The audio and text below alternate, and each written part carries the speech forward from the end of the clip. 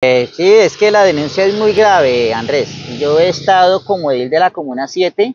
pues yo no tomo, pero me gusta mucho estar de chismoso de lo, por ahí en los bares, me gusta ir a las canchas de tejo, me gusta estar en todas las cantinas por ahí mirando los que toman, saludo a los amigos, pero con gran preocupación me he dado cuenta que hay niñas de 16, de 15, 17 años trabajando en estos bares del sector del salado y más que todo no las ve es de lunes a jueves trabajando, no las ve los fines de semana sino de lunes a jueves ven trabajando estas niñas menores de edad en estos bares y yo no sé si es que tienen permiso, yo no sé si es que el gobierno las autoriza para poder trabajar ellas, pero creo que es preocupante y sobre todo por ahí un bar muy especial que yo he visto que hay una niña que han habido, ha habido problemas, esta niña se agarra hasta con los hombros como si fuera un varón y les tira, pelea y, se agarra y yo quisiera saber si es que el secretario de gobierno, doctor Amaya, no ha tenido conocimiento de esto, si es que la policía tampoco sabe de esto, pero yo me quedo aterrado porque la policía va cuando va a hacer las inspecciones. sobre eso,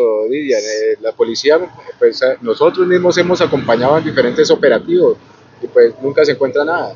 Pues que estas menores de edad, es que es lo curioso para que usted se ría, Andrés, estas niñas trabajan de lunes a jueves. Y cuando hacen los operativos los hacen viernes, sábado y domingo. Pero si ellos vinieran entre semana o vinieran de día después, fuera a las 3, 4 de la tarde, a estos bares porque los harán temprano, ellos los harán temprano hasta la 1 de la mañana, ustedes vienen por ahí a las 3, 4 de la tarde y encuentran estas menores atendiendo estos bares. Y eso que no las, no las prestan para lo que sabemos nosotros, sino las únicamente atienden para vender licor las tienen ahí únicamente para vender licor, pero yo no creo que esto sea permitido ante la ley. Bueno, estamos hablando de cuántos bares más o menos que estarían empleando a menores.